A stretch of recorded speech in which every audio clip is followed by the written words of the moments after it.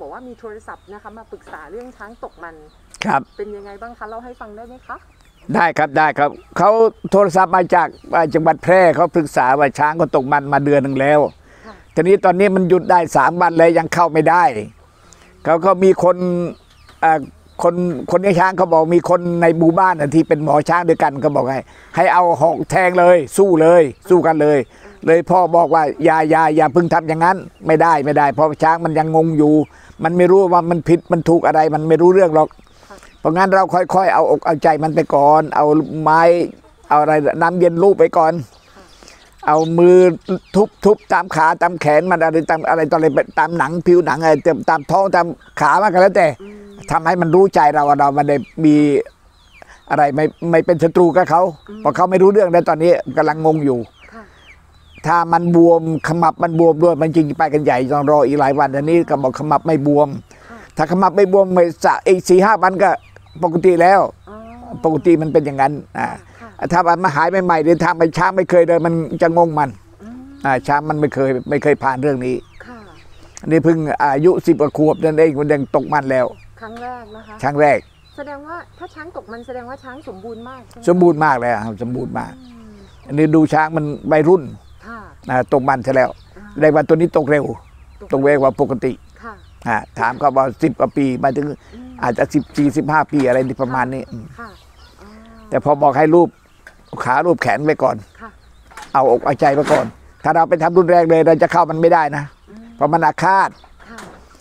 ถ้าเราทำปั๊บเนี่ยมันจะอาฆาตไปเลยถ้ามึงเผลออะไร ถ้าเอาเราเอาตายเลยค่ะนี่ช้างนั้นเป็นอย่างนั้นนะครับ ต่อต่อให้เขาหายตกมันแล้วแต่เขาก็อาฆาตอยู่ อาฆาตอยู่ ความอาฆาตมันยาว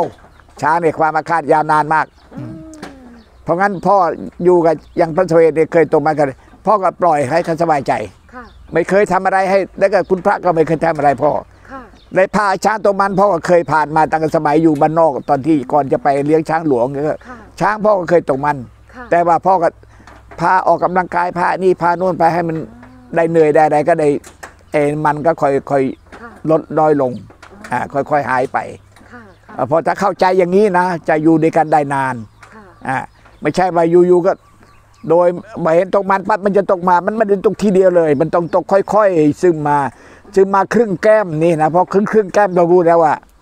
ถ้าปล่อยมากกว่านี้ไม่ได้ เราต้องพอครึ่งแก้มเรารู้แล้วออกกำลังกายพาขี่ยาวๆ แล้วก็มีทนซุงเท่าไหร่ก็ ไปงัดเล่นค่ะอืมอาทิตย์ละอ่าสองสามวันสี่วันก็แล้วแต่เถอะค่ะ ครั้งหนึงคือประมาณครึ่งชั่วโมงอะไรเนี่ย งัดไปงัดมาบางทีเราไม่ต้องขี่มันหรอก สั่งให้มันทำมันเองมันก็ทำค่ะ พอมันเหนื่อยมันก็ไอ้น้ำมันที่มันจะออกมันก็ค่อยหดค่อยหดลงไป คือเป็นการให้เขาได้ออกกำลังกายและออกกำลังกายลูก ลดความก้าวร้าวอ้าวลดความกล้าวร้าวขึ้นลดไอ้ความบึกบึนของบัดไอ้อะไรของเขาไอ้สมบูรณ์ของเขานะให้ลดน้อยลงบ้างเอออืม มันก็แค่นั้นเอง ค่ะ ถ้าเราเข้าใจมันนะ แสดงว่าช้างเนี่ยพอตกมันพอน้ำมันเริ่มไหลเนี่ยปฏิกิริยาก้าวร้าวยังไม่เกิด ยังไม่เกิด พอยาวมาถึงขนาดถึงปากแล้วทีนี้จะเริ่มเริ่มเริ่มแล้ว เริ่มเริ่มปวดหัว ค่ะ เริ่มปวดหัวหงุดหงิดหงุดหงิดข้อสำคัญคือหงุดหงิด แล้วก็ไม่ค่อยฟังเสียงเจ้าของไม่ค่อยฟังเสียงควานแล้วตอนนี้ อ๋อแต่ถ้าเพราะงั้นถ้าเราเข้าใจกับช้าง ค่ะ ถ้าเลี้ยงช้างใหม่ๆไม่ค่อยเข้าใจเลยอย่างนี้แหละ จะเอาแต่อะอะอะไร จะเอาแต่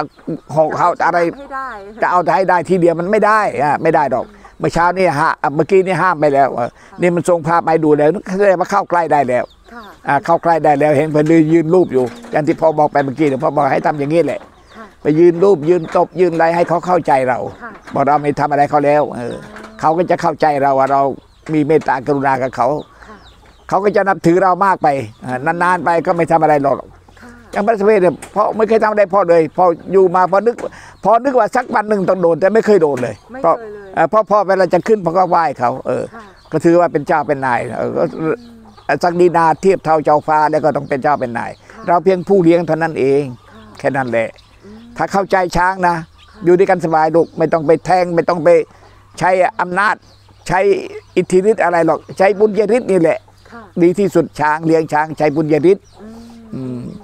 ดีกับเขาพูดดีกับเขาอะไรกับเขาตบนี่ตบนู่นตบนั่นให้เขาเข้าใจเรา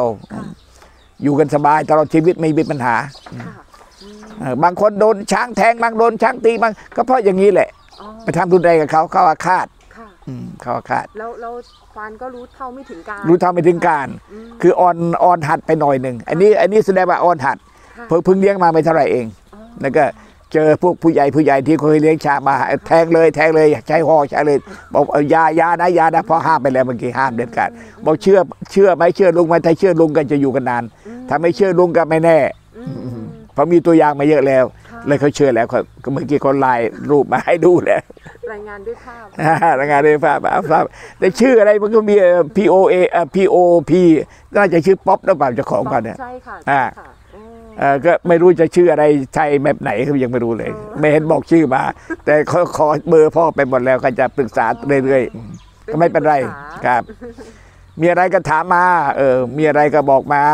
จะแก้ไขได้ก็ได้ แก้ไขไม่ได้ก็ค่อยว่ากันไปเรื่อยๆเออค่ะแล้วก็มีที่บ้านอ่า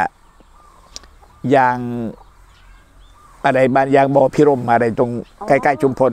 ใช่ใช่ตรงนู้นก็เลี้ยงช้างนะคะนี่เมื่อเมื่อสองสามวันที่พ่อก็ไปเขาก็ปรึกษามาเนี่ยเขาเมื่อกี้เมื่อกี้ก็โทรคุยกันเรื่องช้างเนี่ยค่ะอ๋อบอกก็อยังที่เคยพูดเลยนะบอกอย่าทำไปทำอะไรรุนแรงกับช้างเออคอยรู้คอยอยู่กันไปเลี้ยงกันไปอะไรกันไปเป็นเพื่อนเป็นอะไรกับเราก็ได้เออช้างนะอืมค่ะแล้วเขาจะดีเองดีทุกอืมไม่ใช่ดีอย่างดีที่สุดอะไม่ไม่ทำอะไรเราเลยอะค่ะอืมค่ะถ้าเราเป็นรุนแรงกับเขาเนี่ยเขาอาฆาตตลอดอ๋อ พวกพวกช้างเขามาอาฆาตตลอดอย่างนั้นเนี่ยเอ๊ะคุณพ่อคะหนูเคยได้ยินว่าควานอยู่กับช้างมาอย่างสงบสุข แล้วพาเขาไปอาบน้ำในห้วย แล้วช้างก็ทำร้ายควานในน้ำจนเสียชีวิตเออคืออย่างนี้นะลูกเกิดจากอะไรพ่อเคยบอกเลยที่ที่ที่มหาวิทยาลัยนี้ครับพ่อก็บอกค่ะเวลาช้างลงน้ำอย่าเข้าไปข้างหน้า มันอย่าไปเล่นน้ำกับช้าง มันสนุกมันไม่ได้ทำเราค่ะมันคือมันนึกสนุกก็มันจับเรากดมันไม่รู้ว่าเรา แย่แค่ไหนมันไม่รู้หรอกใช่ไหมคะนะมันเล่นแบบเล่น อ๋อนี่คือเล่นเล่นไม่ใช่ฆ่า เขาไม่ไม่ได้มีเจตนาไม่ได้มีเจตนาฆ่าคืออาจจะกดเรากดเป็นนานแค่ไหนมันไม่รู้ไอ้ความเป็นความตายของเรามันไม่รู้หรอก เขาสนุกของเขาอ่าสนุกของเขาอาจจะกดนานหน่อยอะไรเนี่ยเพราะงั้นพ่อมาเห็นพวกนักศึกษามันลงไปในน้ำเลยพ่อก็บอกอาจารย์ปลวกมาแล้วบอกเวลาช้างลงน้ำอย่าให้นักศึกษาไปอยู่ข้างหน้า อยู่ข้างๆอยู่ข้างหลัง อ๋อพอมันนึกสนุกขึ้นมามันจับเราเล่นน้ำกดน้ำมันเล่นอะมันเล่นนะฮะ มันไม่เจตนาฆ่าหรอก สรุปแล้วถ้าจะเข้าหาช้างควรเข้าด้านหลัง ด้านหลังฮะท่านในน้ำนะ เพราะงั้นแล้วบนบกล่ะคะควานพวกเราเนี่ยเวลาเขาขี่ช้างลงน้ำเขาจะอยู่บนหลังเขาจะไม่ลงอืมถ้าลงมันจะอันตรายเพราะมันเล่น มันเล่นสนุกอะค่ะอืมครับเล่นสนุก อาการอย่างนั้นนี่คือคือเล่น เล่นมันดีมีเจตนาฆ่าลูกอืม คือเอาจากกอดเราเล่นน้ำอะค่ะค่ะเออเขาไม่และไม่รู้เราจมนานแค่ไหนไม่รู้มันไม่รู้ เพราะเขาเล่นเขาอยู่ได้นานเออนั่นน่ะดิเขาคิดว่าเราอยู่ได้นานอ่าโอ้นี่พวกพวกเพราะงั้นพวกช้างบ้านช้างบ้านเราเนี่ยเวลาเขาอาขี่ออกช้างลงน้ำเขาจะอยู่บนหลังเลยค่ะเขาจะไม่ลงอ๋อเพราะช้างเคยฆ่าคนตายในฆ่าควานช้างตายในน้ำเพราะมันไม่ได้เจตนาฆ่ามันเล่นอย่างนี้แหละเหสตุนุผกลนี่แหละนะนะคะมันนึกสนุก นึกสนุกมากอดเราจมน้ำไปเดี๋ยวมันไม่รู้หรอกมันมาฆ่าเรา มันไม่รู้หรอกที่เราเกิดตายไปเองอ่าเออเกิดตายไปเองอ่าอันนี้จริง ๆ นะเพราะมันเล่นมันไม่ได้เจตนาฆ่าค่ะถ้าบนบก ถ้าจับปกติเนี่ยจะเข้าทางไหนก็ได้อืมบนบกนะถ้าช้างปกติไม่มีตกอกตกใจไม่มีอะไร ไม่มีอะไรมาทำให้เจ็บให้ปวดค่ะเราเข้าตรงไหนก็ได้เข้าข้างหน้าก็ได้เข้าข้างหลังก็ได้ลูกอ๋อเหมือนกับเหมือนกับญาติพี่น้องเราอยู่ในบ้านอย่างนี้เลยอ๋อ เออเราเข้าได้ตรงไหนก็ได้ลอดใต้ท้องมาข้างหลังมาข้างหน้าจับงาจะอะไรมายังไงก็ได้ถ้ามีช้างงาอันนี้ไม่มีปัญหา มันอยู่ที่ใจเขาใจเรามันปกติหรือเปล่าค่ะต้องดูด้วยต้องสังเกตด้วยค่ะเออถ้าเขาตกอกตกใจผิดปกติ ถ้าเขาไม่ไว้ใจเราเราต้องระวังเหมือนกันอืมให้สงบจิตสงบใจดีก่อนแล้วก็เข้าตรงไหนก็ได้อ๋อครับ มันมีอย่างนี้ด้วยฮะ